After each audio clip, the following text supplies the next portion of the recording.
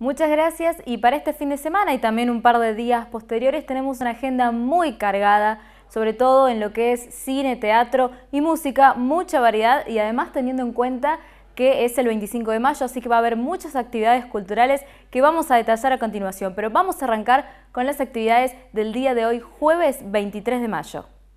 Para hoy jueves tenemos La lengua de las mariposas, una película española de 1999 que está situada en el año 1936. Se va a estar proyectando hoy en el Teatrino de la Trapalanda a las 20.30 horas en el marco del ciclo Cine y Literatura que auspicia la Sociedad de Escritores Riocuartenses. Esta es una película de José Luis Cuerda, está basada en la novela de Manuel Rivas y cuenta con las actuaciones de Fernando Fernán Gómez, Manuel Lozano, Gonzalo Uriarte, entre otros.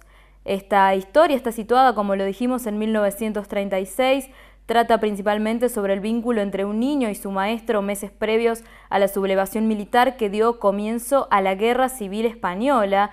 Moncho, interpretado por Manuel Lozano, tiene miedo de ir a la escuela porque teme que los maestros le peguen. Esto, recordemos, era costumbre en un contexto represivo de la época, pero el personaje de Don Gregorio, su maestro, no es así como se pensaba. Este personaje transmitía su sabiduría con mucha paciencia y prudencia y es muy importante destacar que el trasfondo político siempre está presente en esta película, sobre todo cuando don Gregorio es atacado por ser considerado un enemigo del régimen fascista. Recordamos esta película basada en la novela de Manuel Rivas, La lengua de las mariposas, se va a estar proyectando en el Teatrino de la Trapalanda hoy a las 20.30 horas. La entrada es libre y gratuita. Para mañana muchas actividades en lo que es el 25, la previa al 25 de mayo, a 209 años de la Revolución, en el marco del acto que se va a estar realizando en el aula mayor aquí en nuestra universidad a las 12 del mediodía. Va a haber un espectáculo del que va a participar el coro de nuestra universidad y también la Escuela Domingo Faustino Sarmiento, el ensamble universitario de música popular argentina y latinoamericana y también integrantes de los talleres de teatro, danza folclórica y tango. Por la noche, el festejo patrio, la noche de gala en el Teatro Municipal. Allí se van a estar presentando el cuarteto retro y tango fandango a las 21 horas. Las entradas se pueden retirar por boletería y se pueden llevar hasta dos entradas por persona. Después de este espectáculo, a las 22 horas, la peña Todos con la Patria, que va a ser en el viejo mercado, y habrá artistas locales, danzas folclóricas y también servicio de cantina. La entrada es un bono o contribución para recaudar fondos para la presentación del Ballet Folclórico Nacional en junio. Recordamos, la entrada cuesta 100 pesos, así que muchas actividades previo a lo que va a ser el 25 de mayo.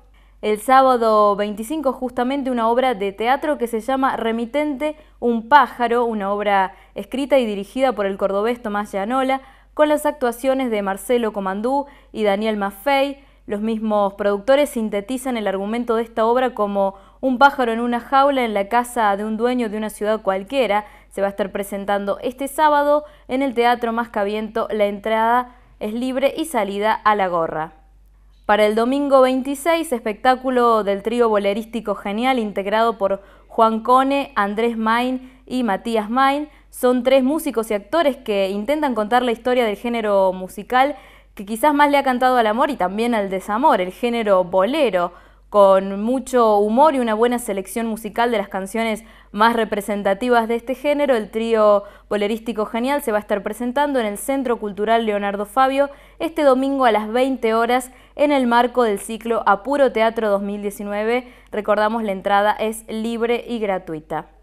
Y para finalizar, el martes 28 y en el marco del ciclo de cine por la diversidad, organizado por la Secretaría de Extensión de la Facultad de Humanas de nuestra universidad, se va a proyectar la película Los Traidores. Es una película en donde se relata la transformación de un obrero industrial que tiene mucha conciencia social en un sindicalista corrupto, pero además en el relato también se puede ver el origen de un ejército revolucionario de trabajadores, el Comando Rosales Saldaño. Se van a estar examinando en este largometraje las luchas obreras desde los bombardeos a Plaza de Mayo en el 55, también pasando por el Cordobazo hasta 1972.